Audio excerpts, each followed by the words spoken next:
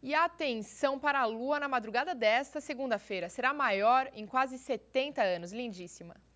Neste dia, a Lua se encontrará a 48,2 mil quilômetros mais próxima da Terra do que quando esteve recentemente no seu apogeu, que é o ponto mais distante da órbita.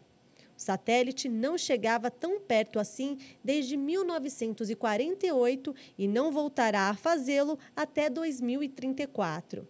Com exceção do eclipse da superlua de 2015, não houve nem haverá por muito tempo uma lua cheia tão especial. Mesmo que, curiosamente, tenhamos tido três superluas consecutivas em três meses, a anterior ocorreu em 16 de outubro e a última será no dia 14 de dezembro. A superlua de hoje poderá ser vista com clareza às 23 horas e 54 minutos. Quem tiver curiosidade em acompanhar o aparecimento da superlua, o Núcleo de Observação do Céu da Sabina fará transmissão ao vivo no YouTube, por meio de equipamentos presentes no espaço.